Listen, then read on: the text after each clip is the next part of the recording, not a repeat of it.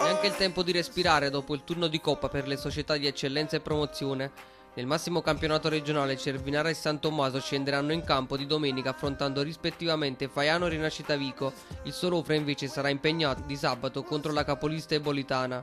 In promozione si comincia a fare sul serio e sale notevolmente l'adrenalina. La Virtus Avellino potrebbe staccare definitivamente la concorrenza ma dovrà inevitabilmente superare lo scoglio Paolisi e sperare nella sconfitta o in un pareggio dell'Eclanese che a sua volta sarà impegnato contro lo Sporting Accadia che nell'ultimo turno di campionato ha scontato il turno di riposo, turno ancora da scontare dall'Eclanese di Alessio Martino.